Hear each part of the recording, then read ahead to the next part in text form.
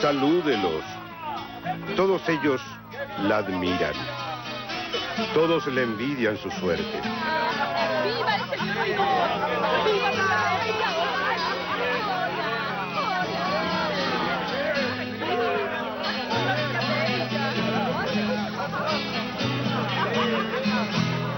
Es hermosa.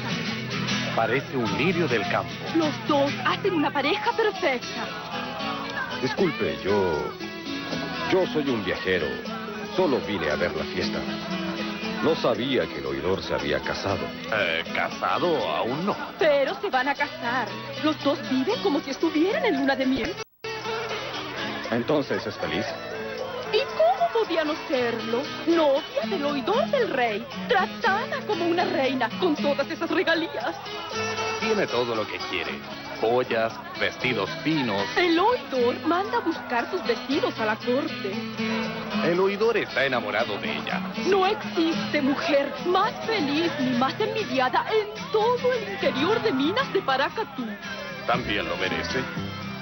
Es hermosa. Tiene todo lo que una mujer puede desear en la vida. Belleza, salud, juventud, riqueza y un hombre apuesto y poderoso a su lado. Es realmente linda. ¿No lo cree? Sí. Es muy bonita. De ella, usted es la reina.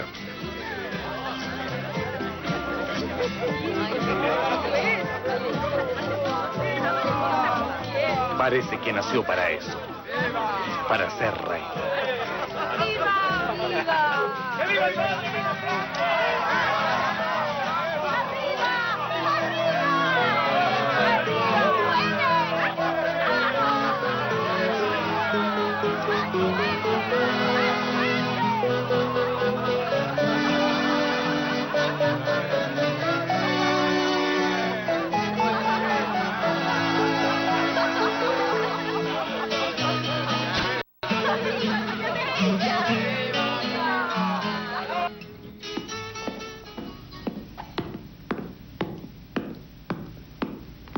¿No va a ir a la fiesta? El oidor me pidió que apurara unos papeles que mandará a la corte mañana. Eh, usted tampoco pierde nada. Siempre la misma cosa, todos los años igual. Bella que está, maravillosa. Todos quieren verla, tocar la basta de su vestido. Yo no sé qué tiene esa mujer. Mire, don Yuca, lo que ella tiene es belleza, es evidente. Bella es como un diamante en carne y hueso. Oh, sí, sí, sí, pero es mucho más que eso. Ella tiene una cosa que viene por dentro, no solamente por fuera. Bueno, lo que interesa es que el señor Mota está de excelente humor desde que ella cedió a sus caprichos.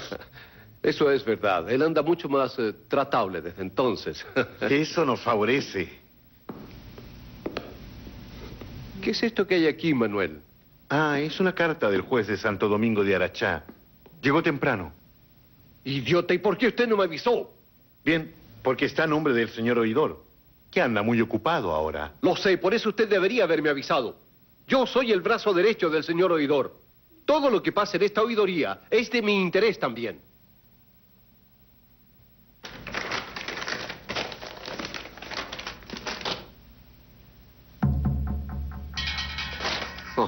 Más encima esto. ¿Malas noticias? El gobernador de Goiás mandó un auditor a Santo Domingo. Unas personas declararon en su contra y acusaron al señor oidor del asesinato del viejo y del secuestro de una virgen. ¿Y el gobernador puede hacer algo en contra del señor Mota? Mientras él permanezca en la capitanía de Minas Gerais, nada. Pero si el oidor entra a tierras goyanas, puede ser arrestado y si logran probar que él es culpable, ah, mi amigo, ahí sí que estará en graves problemas. Yo le avisé, yo le avisé. Le avisé que había ido demasiado lejos por causa de esa mujer. Si solo hubiese satisfecho su deseo y la hubiera dejado de lado. Pero no, él tuvo que traerla, tuvo que exhibirla frente a todos. Tuvo que transformar lo que podría haber sido un, un hecho sencillo en una aventura que sabe Dios dónde terminará. Pero a una mujer como ella no se le deja de lado. Por causa de mujeres como Doña Bella, mi querido Manuel Remanso, muchos hombres perdieron sus cabezas, y no solo en el sentido figurado. El asunto es serio, muy serio. Si el gobernador quiere investigar hasta sus últimas consecuencias, no solo será el oidor el único que saldrá perjudicado. Nosotros también. ¿Por qué? Yo no tengo nada que ver con eso. Yo no, señor. Una inquisición no respeta nada, mi querido Manuel Remanso. Nada. Ni a nadie.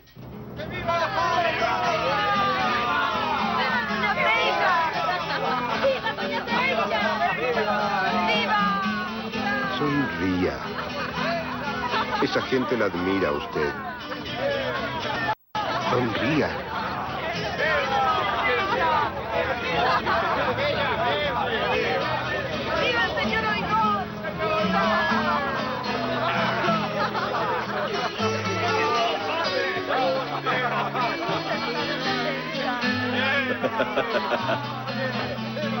Oiga, los hombres quieren saber cuándo hay que actuar.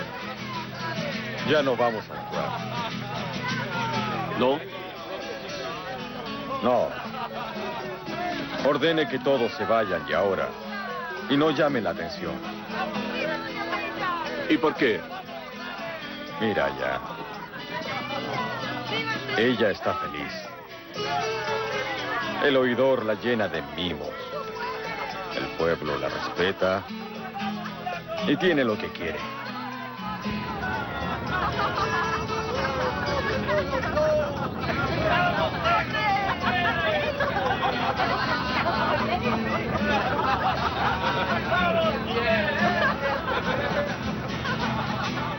Mi madre tenía razón. No debía haber venido. Ella se olvidó de mí. ¿Cómo puede saberlo? Mírala. Si no me hubiese olvidado, no estaría ahí al lado de él, aceptando sus caricias. Váyase ahora. Después nos encontramos.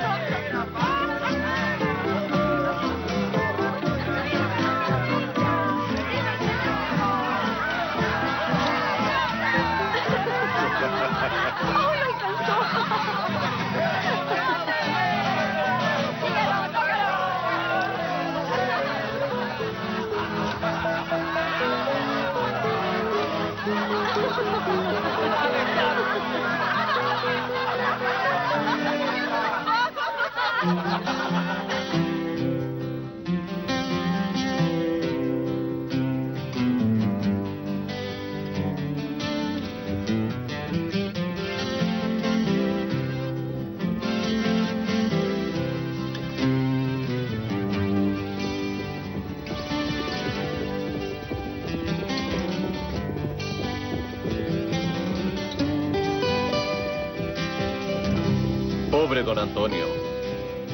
Enfrentarse al padre, sufrir tanto para nada. Ella es feliz con el oidor. Sí, sí la vi. Y parecía muy feliz. Y bonita, ¿verdad? Sí, Antonio va a sufrir mucho. Vamos, vamos.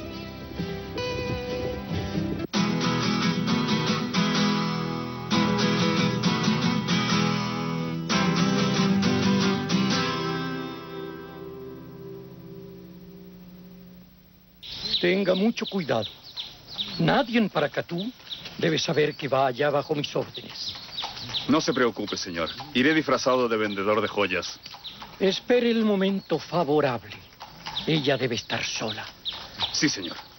Si Bella acepta declarar contra Mota, él está perdido. Y con ella de mi lado, yo cubro su nombre y el de su familia de vergüenza hasta la quinta generación. Haré todo lo posible, señor. Buena suerte. Gracias, señor. Con su permiso.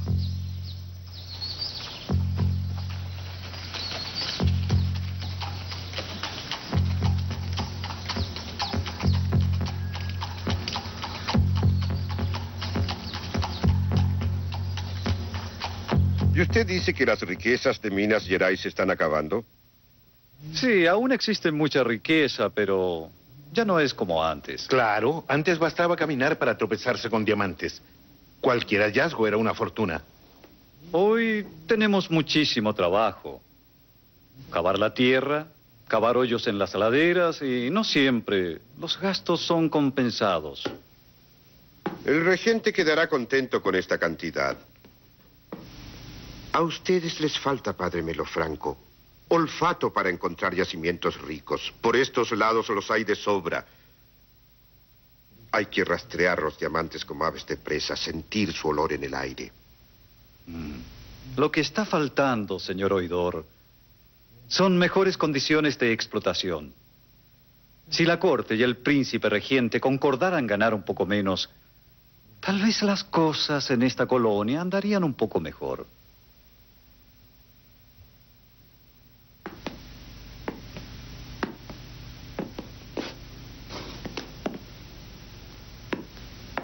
Haga entrar al minero.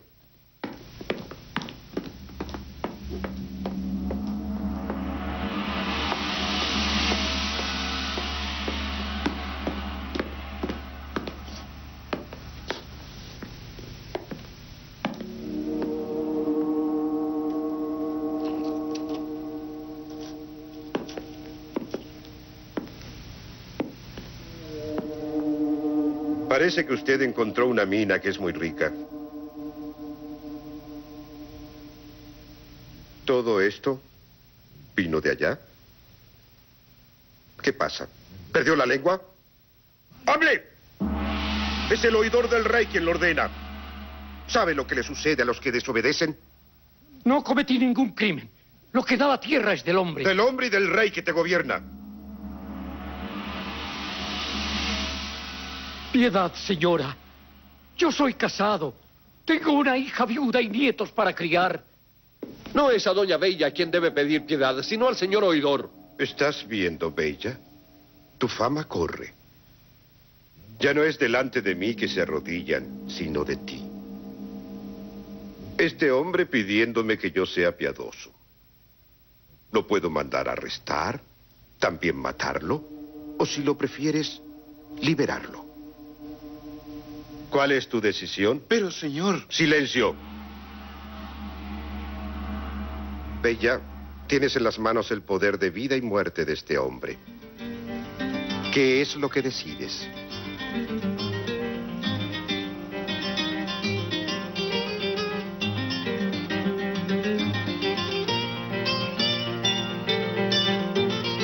Libéralo.